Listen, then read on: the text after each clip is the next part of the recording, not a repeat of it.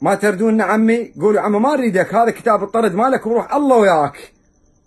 خل أشوف لي ديرة أروح أعيش فيها وأعيش هاي الأطفال. هاي الأطفال اللي ما عندهم بس الراتب عايشين من عنده.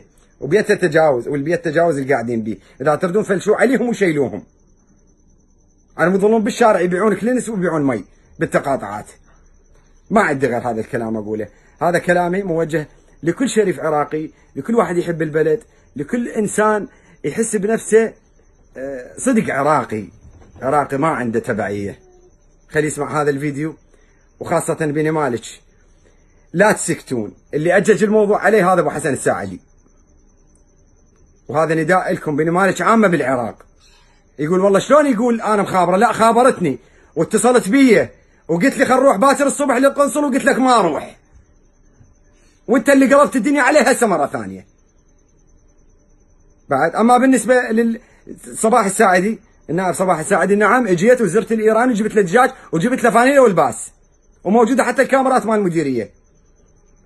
وبالنسبة لكاظم الصيادي لا كان أكو اشتباه أكو ولد نقلوا لي إياها أنا نقلوا لي إياها. وحتى صباح الساعدي اللي نقلوا لي إياها ضباط من المخدرات أنت جيت زرت الإيراني ببطن المخدرات.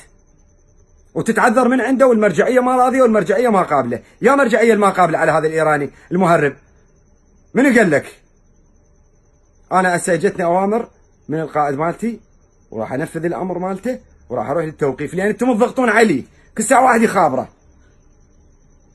لأن إحنا ماكو استقلالية ماكو. حتى المؤسسة الأمنية ما عندنا استقلالية. وجزاكم الله خير. وهذا الفيديو اريده يوصل إلى رئيس الجمهورية إلى رئيس الوزراء إلى الوكيل الأقدم. ما تردون عم طون استقالتي وخلنا نطلع. خلنا ناخذ عيالي وأطلع. خلنا نعوف العراق لكم ما أريده. عراق مقشرين بيه اخذوه تبكتوه من بداية النهاية تاخذوه ما أريده.